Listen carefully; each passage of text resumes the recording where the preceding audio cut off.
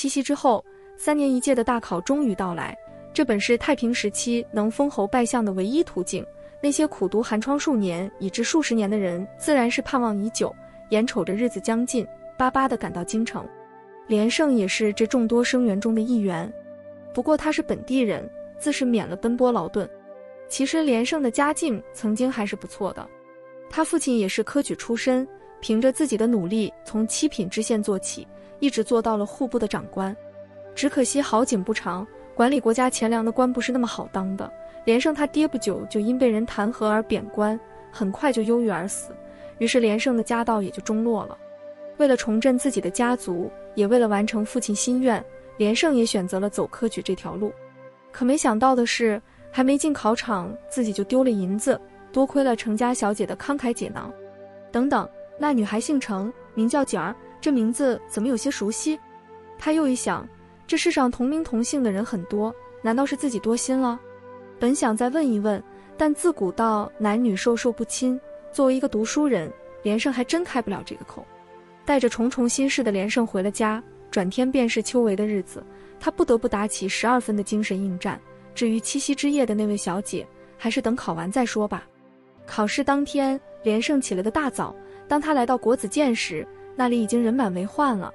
考场的大门还没开，赶考的生员们就三五成群地站到一起讨论着。连胜这人从来不喜欢和陌生人交谈，因此就站到了一个角落，希望不引起别人的注意。连胜不想引起别人的注意，但不能保证别人就不会注意到他。这时，正有个年纪和他差不多的公子向他走来，请问这位公子是来赶考的吗？那人靠近连胜，自来熟地问道。连胜只好点点头，虽然不想搭理他，但也不好得罪他。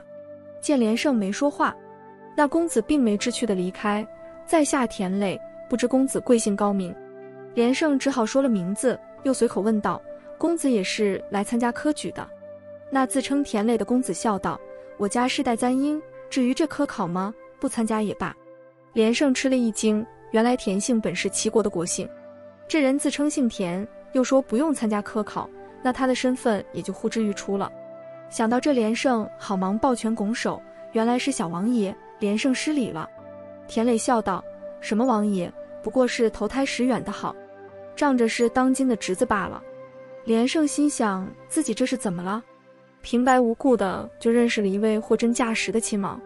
原来按照本朝太祖皇帝立下的规矩，亲王之子如果没有军功的，只能封郡王孙子等而下之。这也是为了防备这些后人们倚仗祖上的军功而不能自食其力的一种手段。不过眼前的这位可是货真价实的小王爷。连胜想到这，不知是该不该高兴。见连胜迟疑，田磊不高兴了：“怎么了，连公子？”不相信我吗？连胜忙称不敢。这时也到了入场的时间，连胜告了遍，随着众人进了贡院。贡院大门随即关闭，天下的举子都在里面。贡院的大门一关就是三天。三天后，当贡院的大门再次打开的时候，天下举子重新回到各自的住处，静等数日后的放榜。到放榜那一天，又是几家欢喜几家愁了。连胜本是长安人。只不过不住在城里，自父亲死后就搬到了城外，将故居留作出租。这一来是城里房价贵，将老宅出租他能多些收入；二来是城外清静，有益攻读。这天，连胜正在家里待着，忽然从外面闯进一个人来。那人看着他，大叫道：“你可是连家公子？”连胜倒很从容：“小可正是连胜，不知你找我有什么事？”“不是我找你，是我们家老爷找你。”“你们家老爷是谁？”找我干什么？我哪知道我家老爷找你这穷酸干什么？让你去你就去，哪那么多废话？看那人一脸不耐烦，连胜便来了脾气，去回你们老爷，就说本少爷不侍候了。说完便直接将那人轰到了门口。他刚要关门，门口却出现了一张年迈苍苍的脸。那老人看了他半天，才道：“你是胜儿。”连胜与那老人四目对视了个半天，才认出来。他有些激动：“程叔叔。”真的是你吗？是我呀，可怜的孩子，这些年受苦了。连胜抑制不住自己的激动心情，投入到老人怀里大哭起来。原来这位老人正是景儿的父亲程老爷，此人大号叫做程思之，本是个小买卖人，有一次不小心被人坑了，吃了个不大不小的官司，二人打到县衙，正巧当时的县官是连胜的父亲，这下不但断明了冤案两个，还成了好友。后来程思之的生意越做越大，连胜的父亲也升了官，从此便失了联系。没想到能在这重逢，怎不叫人喜出望外？连胜老实的道：“我这家甚是破烂，叫叔叔见笑了。”程思之笑道：“没有没有，少年人这样正好啊。”忽然想起了一件事，又门道：“贤侄，你成家了吗？”连胜实在惭愧，小侄到现在还是一事无成，哪有闲心成家呢？程思之，不然大丈夫要修身齐家治国平天下，可见成家也是很重要的。他低头想了想，叔父家中有个女儿，年纪应该和你差不多，虽不是嫡出，但我爱她如掌上明珠，想来也不会辱没了你吧？连胜，叔叔说的哪里话？叔叔的长珠小侄，我是求之不得，何谈辱没两字？程思之，那就这么说定了。下个月初三正好是我生日，到时候贤侄一定要来。连胜，自当要去为叔叔贺寿。两个商量好了相会日期之后，程思之就告辞走了。临走前，将女儿绣的一个荷包留给了连胜。连胜看那荷包上用五彩丝线绣了个小小的锦字，不由心里一动，心想：难道是他？又一想，世上哪有这样巧的事？是自己想多了吧？昔日龌龊不足夸，而今登科思无涯。春风得意马蹄疾，一日看遍长安花。这首登科后，乃是前朝一位诗人所写。那人曾屡试不第，但并未气馁，再战考场，终于得中。这首诗就是他当年得中后的心情写照。如今仍是在长安，仍是万千举子，这首诗便足以形容他们的心情。那可真是有哭有笑。俗话说无巧不成书，贡院放榜的这天，也正是程家老爷的寿诞。连胜既应了程思之，便想上午看完榜，下午再去程家也不迟。毕竟中与不中，他都要尽快知道。贡院门前熙熙攘攘，失去了往日的威严，倒向一个大集市。连胜挤过人群，向张榜处靠近。榜文下边早已是万头攒动，大概连个下脚的地方都没有。连胜好容易找了个地方，却听身后有人笑道：“哟，这不是连公子吗？瞧这高兴的，怎么样，连中三元了？”连胜回头一瞧，说话的正是田磊，不由笑道：“敬您吉言。”小生如果中了，定当请您吃酒。田磊吃酒不着急，你还是先看看中了没有。此时两人已来到榜文下面，连胜抬头寻找自己的名字，找了半天也没找到，不由悔丧，心说田磊你这个乌鸦嘴。田磊这家伙也没个眼力见，见连胜半天没说话，便问道：“怎么样，还没找到吗？”说着又看了他一眼，见他还是没答话，才感觉到不对，心想别再是没考中吧。但他不敢再说了，只是在暗中查看连胜的脸色。连胜看了半天也没找到自己的名字，知道自己这回恐怕是名落孙山了，不由得万分悔丧，低着头钻出人群，要往家走。不想袖子却被抓了个正着，抓住他的那人正是田磊。只听他笑道：“只不过是一件小事，连兄何必气馁？”连胜沉着脸：“田兄是饱汉子，不知饿汉子饥。你是王爷。”到时候自有功名利禄送上门，你哪里知道我们平民百姓的疾苦？田磊讪笑，连兄不必心急，待我与我爹爹说说你的事。我想凭连兄之才，不难谋个一官半职。连胜，这怎么好意思？田磊，咱们是朋友，连兄不必如此客气。两个说笑几句，田磊忽然问道：“连兄，今天是程思之程老先生的寿诞，你可要去吗？”连胜皱眉。我虽收到了程老先生的邀请，但我身无长物，这可怎么去呢？田磊微微一笑，这有何难？连兄不如写一副对联，我让人帮你裱了，你送给程老先生不是正好？连胜喜道：“如此有劳了。”田磊笑道：“你我是兄弟，何谈有劳二字？”原来田磊也收到了程思之的请柬，但凭他的身份不用亲自去，只要派个人送上贺礼就可以了。但如今有了连胜。他倒想去寿宴看看有什么新奇的花样，毕竟当富贵闲人当久了也是寂寞。两人说好，连胜便去了田磊家。来到书房，田磊拿出上好的宣纸、灰墨、湖笔与端砚，让连胜泼墨挥毫。连胜虽也是官宦出身，怎奈家道中落，何尝见过这样的排场？平生第一次用这些东西，他还有些不习惯。不过用了之后，方知名下无虚。连胜挥毫泼墨，不一会便写成一副寿联，是有芝兰春一韵，人如松柏岁长青，横批归零鹤算。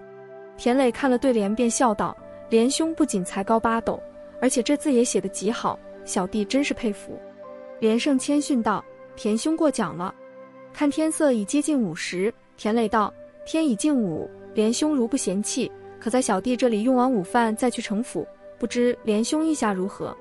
连胜心想，一己住的地方离城府远，那就不如先在这里吃了饭再去方便些，于是点头答应了。田磊让人拿着连胜的对联去表，又让厨房准备了午饭。不多一会，午饭齐备，田磊命人摆上来，满满当当摆了一大桌子。连胜道：“田兄太客气了。”田磊笑道：“不过都是些现成的，连兄不必客气。”说着就斟了杯酒递到连胜面前：“连兄请饮此杯。”连胜连忙摆手：“小弟不会饮酒。”田磊：“男子汉大丈夫，哪有不会喝酒的道理？难道是看不起小弟吗？”连胜：“不敢不敢。”说完，只好举起酒杯一饮而尽，亮了亮杯底。田磊赞一声：“好酒量。”又为他斟了一杯。连胜本来不善饮酒，这样一杯一杯的喝，没多久就有些晕。他本不想喝了，但又觉得田磊盛情难却，便陪着他喝了个尽兴。酒喝了不少，连胜终于支持不住，趴在桌上睡着了。田磊看他这样子睡得不舒服，也不惊动旁人，便亲自抱他去客房。他自幼习武，身体很棒，抱连胜这么个瘦弱的书生是没问题的。于是抱起他，正要往客房走，忽听一声轻响，一个物事从连胜的身上滚了下来，落在地上。田磊回头一看，原来是一个荷包，便捡了起来，发现这荷包绣工很精致。最妙的是用五彩丝线绣了个“锦”字，田磊知道程思之的小女儿芳名便是锦儿，虽是庶出，但模样俊秀，又聪明伶俐，更兼女工针织无一样不巧，因此程老爷爱如掌上明珠。他将连胜安排到客房，便将那荷包藏在了身上。凤九和东华还是依着锦儿表妹和表妹夫的身份住在程家。程思之的五十大寿终于过完了，但程家老爷却高兴不起来。同样不高兴的还有景儿，因为做寿那天，他们等的那个人竟然没有来。本来景儿听爹爹说将他许配连胜是很高兴的，又听说爹爹已经邀请他来参加寿宴，心里便如小鹿乱撞，激动的无以复加，只盼寿宴的日子快些到来。终于盼到了寿宴的正日子，当日景儿便被告知等连公子来了，可以躲在屏风后面偷看。于是她早早的梳洗打扮好，穿了件最好看的衣服，等在自己的房里。但等着丫鬟传来消息，可是从早晨等到中午，又从中午等到晚上，一直到寿宴将开，连胜还是没有来。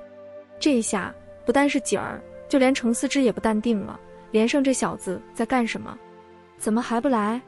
命人前去打探，打探的人回报说，这连胜居无定所，住的房子却是租来的。程思之这一下大发雷霆，原来这家伙如此不靠谱，亏得老夫这么看重他。还把自己最心爱的女儿许配他，这小子也太不识抬举了。程思之于是当机立断，这婚约就此取消，要为爱女另择良配。知道这个消息之后，景儿就像失了魂，急急忙忙来找她的表妹帮忙。其实凤九正在屋中跟东华昵呼，听得敲门声吓了一跳，连忙找衣裳穿好。东华倒是不着急，一个闪身便隐得无影无踪，就像他从来没来过这里一样。九妹妹。你说这个连胜怎么这么不靠谱？我爹爹的生日这么大的事，他竟敢不来，我爹都生气了，说要取消我和他的婚约。听着景儿的哭诉，凤九不禁要腹诽思命，这写的什么命不？真是三流的话本子都不如。但是他也知道神仙不能随便影响凡人的气运，否则天象将有大变，别无他法，他只能安慰景儿，希望他不出什么意外才好。好容易把景儿打发走，见那人还不现身。凤九便笑道：“出来吧，我已经看见你了。”眼前白光一闪，东华帝君现身出来，一脸的不相信：“小狐狸法力高了，都能看着我的隐身了。不错不错，怎么修炼的？”凤九轻轻捶了下他的后背：“不正经，人家都愁死了，你还取笑人家？”东华笑道：“有什么好愁的？有缘千里来相会，无缘对面不相逢。凤九，你这话什么意思？东华神秘一笑，天机不可泄露，你就等着瞧好戏吧。因为连胜的缺席，程思之很不高兴，于是毁掉婚约，将锦儿另嫁。但嫁给谁呢？程思之想，田烈应该是个不错的人选。虽然出身富贵，但身上没有一点的公子哥气，而且为人也诚恳，比连胜那个绣花枕头强多了。自古到男主外女主内，女儿的终身大事是要和她母亲商量的。虽然那并不是她的亲生母亲，程思之想到这就去后宅找夫人崔氏，将定亲的事一说。谁知崔氏却把脸一沉：“老爷这是做的可欠考虑，鱼儿还没嫁呢。锦儿这什么急？”程思之，你真是妇人之见。男婚女嫁要看缘分，你以为是买东西还论大小个？崔氏不依，我不管，反正鱼儿还没嫁出去，锦儿也不准嫁人。程思之知道他夫人的性子，准备慢慢开导他。因此，这事就拖了下来。谁知这一拖就拖出了事情。原来程锦儿的老爸程思之，那可是这长安城里有名的大商人，他名下的铺子可不止开在长安这一座城里，那是遍及齐国各大都市。当然，除了总店之外，都是他的亲戚在经营。崔娇就是这其中之一。要论起崔娇和程老爷的关系，那可真不算远。程老爷的原配，也就是鱼儿的娘亲。正是崔娇的亲姐姐，因此人称崔娇崔舅爷。其实崔家也是做买卖的，开着个很大的铺面，但到了崔娇这一辈，已经渐渐落了下风。无奈之下，崔娇才将自己的姐姐嫁给了程思之，希望用她的名义来带动自家的生意。无奈这位舅爷本就是个不学无术的，生意上稍微有了些起色，就开始折腾，于是家底越折腾越薄。崔夫人无奈，天天在自家夫君眼前哭诉。弄得程思之很厌烦，于是便给了这位舅爷一笔钱，让他自己去发展。可是有一样，只能去外地。崔娇拿着这笔钱，虽然不明白姐夫为何不让自己在长安待，但好歹有了一笔启动资金，那就找个好地方好好做买卖吧。崔娇选定的地方是杭州。古人都说上有天堂，下有苏杭，可见杭州真的是个好地方。崔娇到了杭州，先买了个好铺面，又进了些上等的丝绸。在他的张罗下，一家专卖上等丝绸的店铺算是开张了。只是当初程思之有言在先，赚了钱都归崔娇，要是赔了算他的。因此，崔舅爷做起事来更加大手大脚，毫无顾忌。崔氏见自己的弟弟终于走了正道，也很高兴。他是土生土长的长安人，从来没去过别的地方。这两天因为女儿的婚事和丈夫闹别扭，正想出去散散心，于是就准备去杭州看弟弟。崔氏要去探亲，程思之当然不能拦着。于是崔氏很快就到了杭州，姐弟俩久别重逢，难免要寒暄一番。可是崔娇见姐姐总是面沉似水的，不禁有些奇怪，就问她是否有心事。崔氏也不隐瞒，将自己的心事和弟弟说了。崔娇笑道：“姐姐，这有何难？待小弟略施小计，定能让我那嫡亲的外甥女嫁个好人家。”城府后宅里，凤九依然陪着景儿。听说爹爹因为生日那天连胜的缺席而悔婚，要将自己另嫁旁人，景儿很郁闷。本来听说爹爹已将自己许配给连胜，他很高兴。他觉得娘虽然去世了，但爹还是疼他的。自从他看到连胜那天，就觉得十分眼熟，好像他们曾经在哪里见过。他想，这应该就是自己的所谓前缘了。可是现在看来，自己竟是所托非人，看景儿难过，凤九心里也不好受。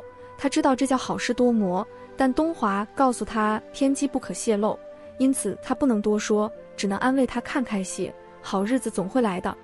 不管凤九说什么，锦儿只是听着。他知道表妹在安慰他，他也明白那是为他好。但妹夫那么疼表妹，他二人正是情浓之时，他又怎么能体会到自己的心情呢？因为和爹爹吵架，大娘心情不好，借口散心去杭州了。锦儿知道大娘的弟弟就在杭州，也是个成功的商人，但他是鱼儿的舅舅，和自己半点关系都没有。不过大娘不在家，他又可以无忧无虑了。谁知崔氏这次去杭州，去得快，回来的也麻利。走的时候高高兴兴，回来的时候却沮丧着脸。毕竟是夫妻，程思之还是很关心崔氏的。见他不高兴，便问起原因。谁知一问却吓了一跳，原来他那宝贝小舅子竟惹了人命官司。毕竟夫妻这么多年，不能看着他掉眼泪不管，程思之决定亲自去一趟杭州，打点小舅子的官司。他算了算日程，此去杭州往返路程加上打点官司的所用的时间，应该赶不及景儿的婚礼了，便嘱咐崔氏到日子将景儿的婚事办了。崔氏也不多说，只说你放心吧，这事就交给我了。程家的主事之人程思之走了，程府的正房里只留下他的原配夫人崔氏。八月初六，秋高气爽，云淡风轻。